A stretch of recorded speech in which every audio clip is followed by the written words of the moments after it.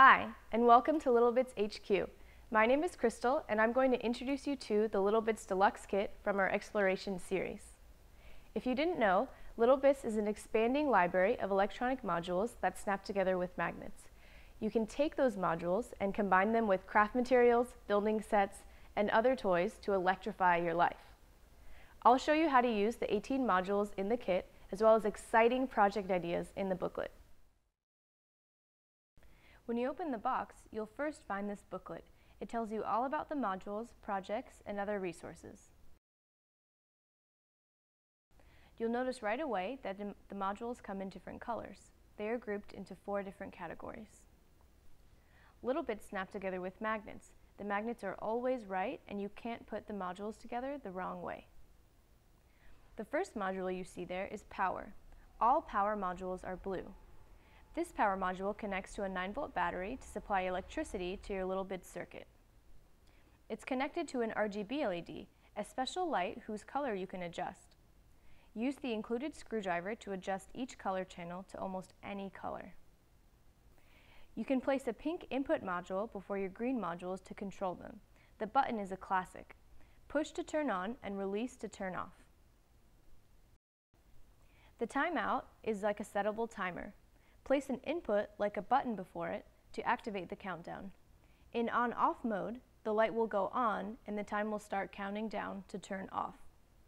In off-on mode, the light will go out when you release the button and will turn back on after the timer reaches the allotted time.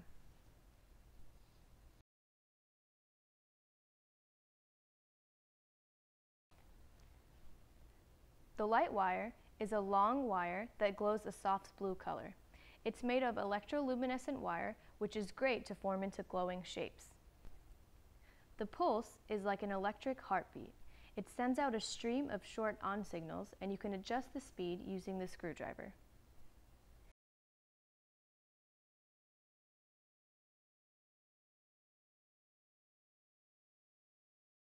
The sound trigger is a module that senses the noise level in your room and sends an on signal when it gets over a certain level.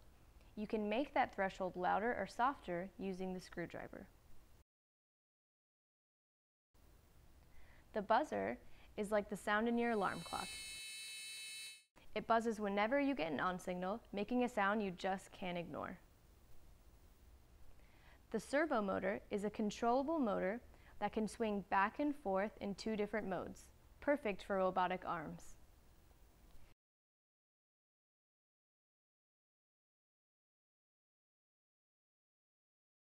In turn mode, the input from other modules determines the position of the arm. In swing mode, the servo will move back and forth on its own, and the input controls how fast it goes. The other module you see there is the slide dimmer. Use the slide dimmer by moving the slider from one end to the other to see how it affects the modules that follow. The DC motor rotates a D-shaft when you send it an on signal.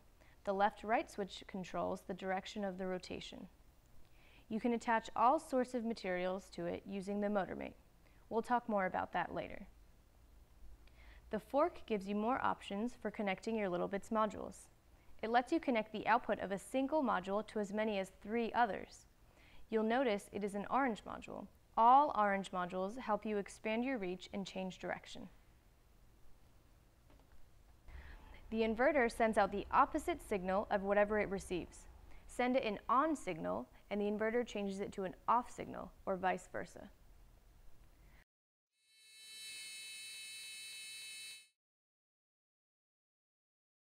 The latch turns a momentary input, like a button, into an on-off switch. Press the button once to turn the light on, press it again to turn it off. The wire allows you to physically separate your Littlebits modules, Try it whenever you need to break up your circuit chain.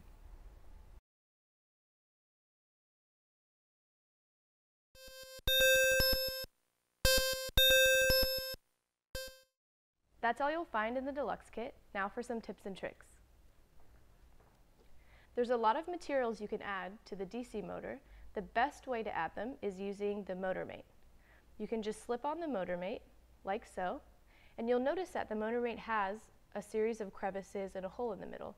this is where the materials go. One of the best things you can add to the MotorMate is a Lego axle. This will allow you to build motion into all of your Lego sets. My next tip is about the light wire. The light wire is an amazing bit because you can have four, over four feet of light to sculpt and bend into all of your projects. One thing that I like to do is take a piece of construction paper and a hole puncher,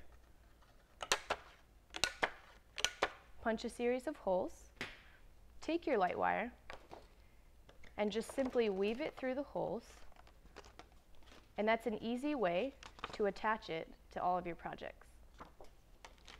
We also use the light wire in this snazzy unicorn helmet for bike riding at night. You won't be missed when you're wearing this. We've also woven it through these dancing stomping shoes so you won't be missed on the dance floor either. For more tips and tricks like these, go online.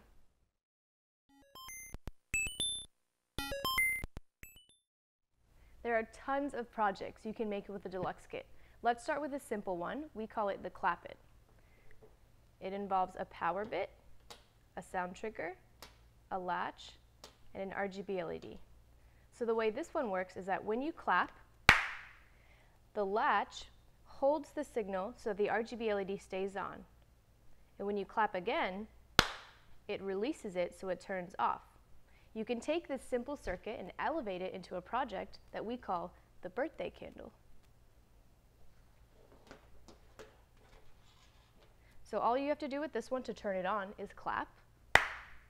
The difference is that this circuit has an inverter in it so that when it's your birthday and you just sang happy birthday and you're ready to make your wish, when you blow on the sound trigger, it turns the RGB LED off.